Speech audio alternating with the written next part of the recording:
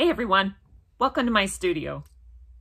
This week in the studio, I want to work on this fountain by filling in some of the shadow behind the flowers, the shadow behind the birds, and just getting that knocked out so that I can fill in the rest of the background color.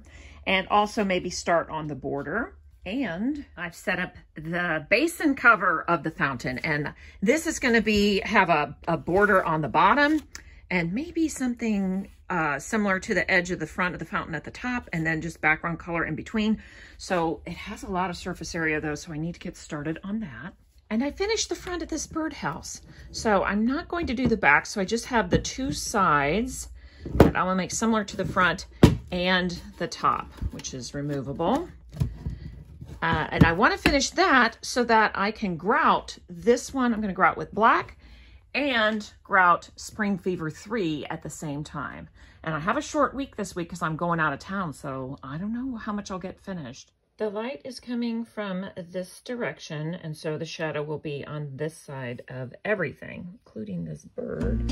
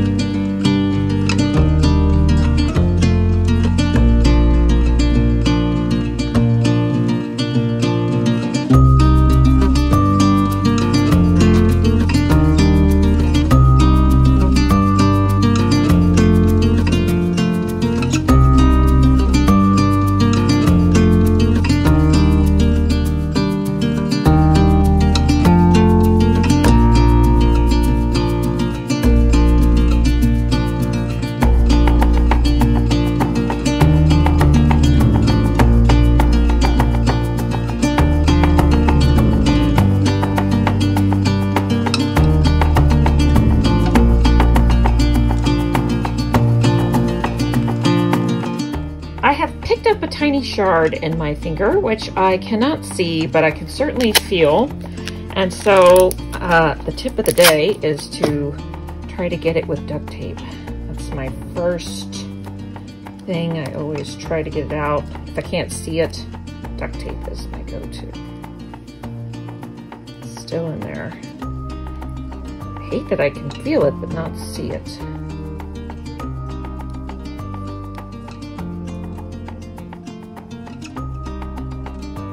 Gotten out.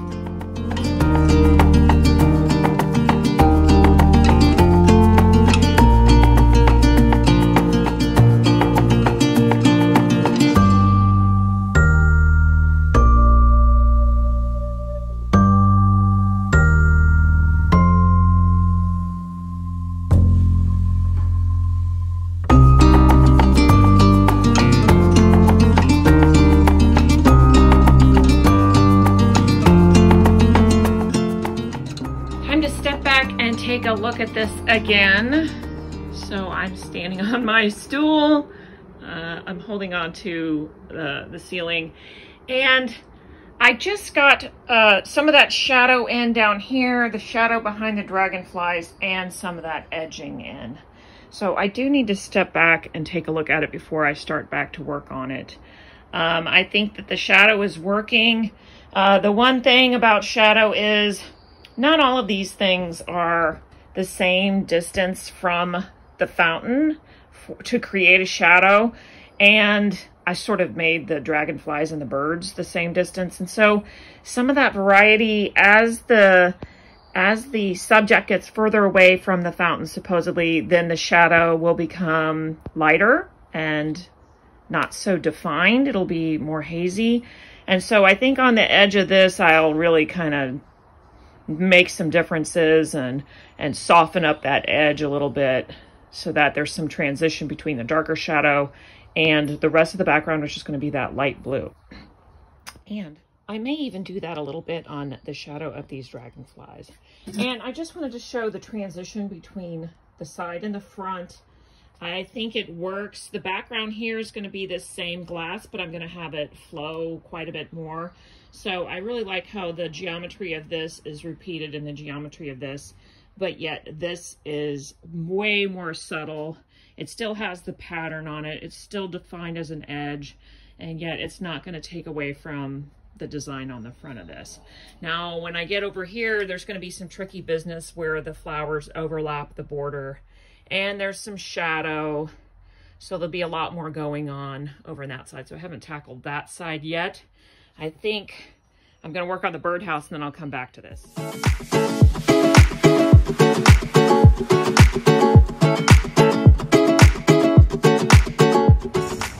I'm gonna spray the edges of this so that when I grout with black, the edges will be black.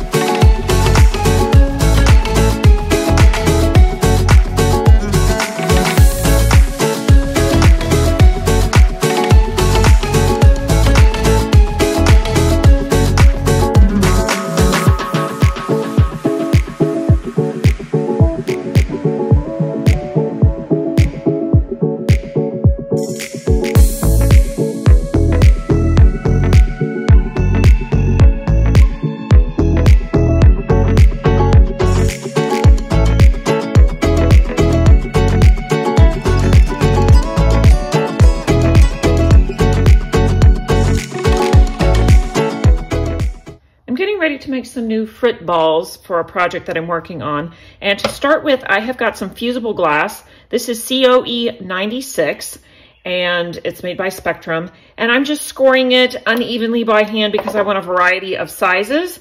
And then when I nip it, I'll be using my Brita nippers just to give my hand a break because there's a lot of nipping here.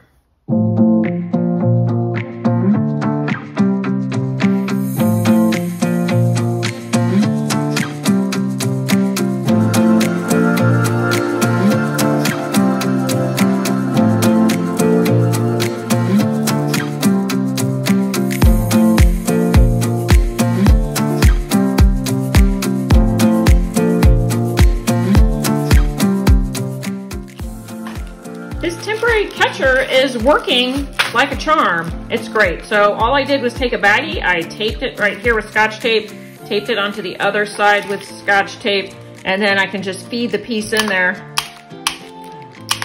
nipping as I go. This really only works if you're making a big inventory of pieces that are very similar, which is what I'm doing here. And go pretty quick with it.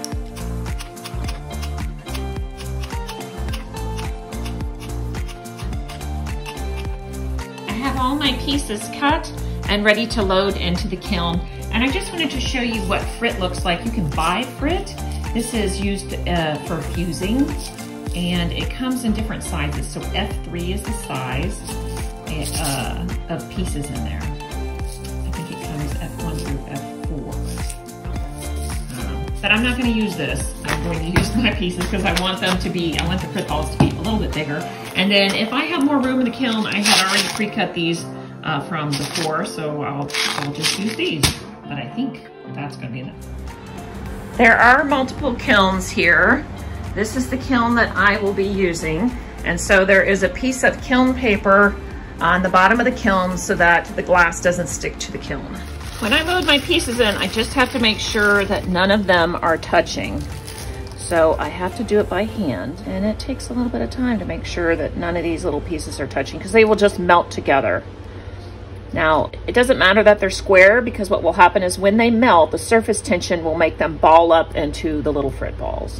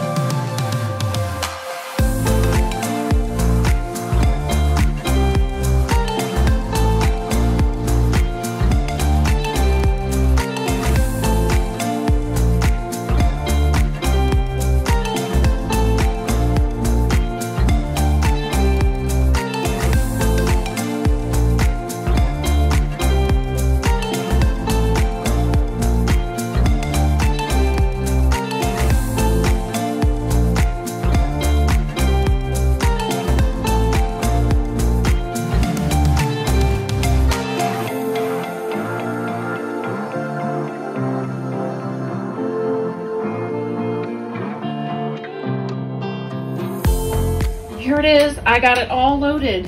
It's like a beautiful mosaic in there, except for the white grout. Some of them I stacked just for fun, especially if they were bigger. Look at these, I'm gonna make a couple eyeballs over here. Anyway, now I'm gonna run it. All right, the lid is closed. I've gotta put these little plugs in. Yeah. One here, one down there. And now all I have to do is hit that twice. Now it's on.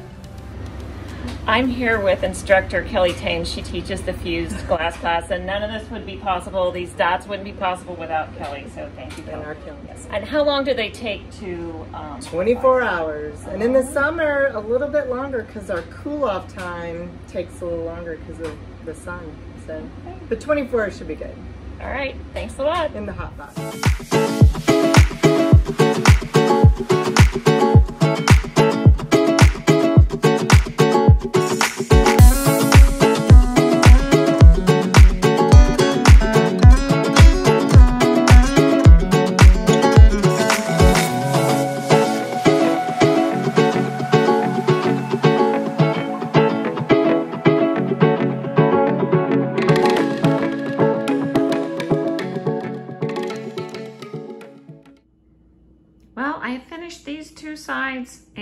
Top.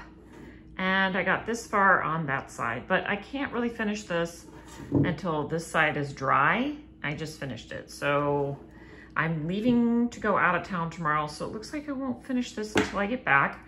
And also I won't be able to pick up those Frit balls until I get back. That's all. Here's my project I'm bringing on vacation with me. One type of glass, one substrate, glue, tweezers,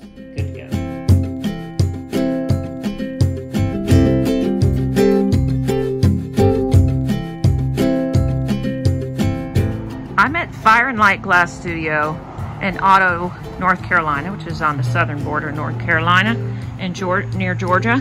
And this is just a treasure trove of different things. So I'm gonna show you a little bit of what's in here. This shop is owned by John Phillips. He's a glass artist who's been making fused and stained glass work for years and teaching as well. In fact, he still teaches all levels from this location. So if you're in the mountains on vacation, you can sign up for class. And here is some of his work mixed with a little bit of student work.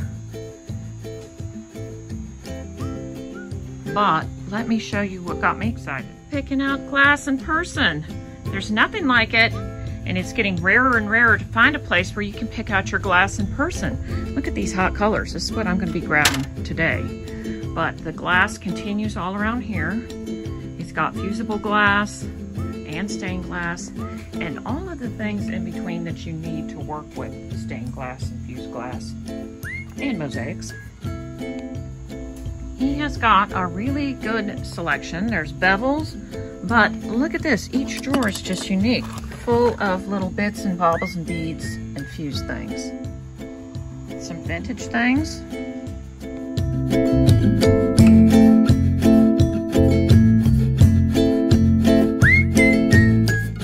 He's got all different frits available and what's real nice is he's selling it in small quantities like this because maybe you don't want a whole big jar of it you're doing glass fusing.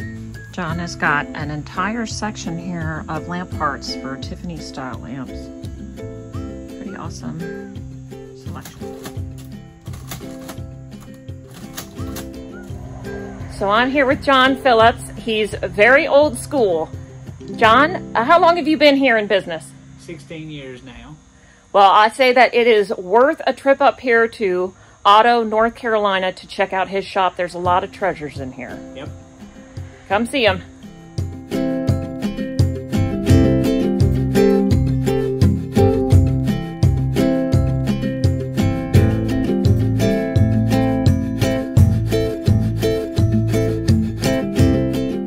That's putting it together. Thanks for watching. See you next time.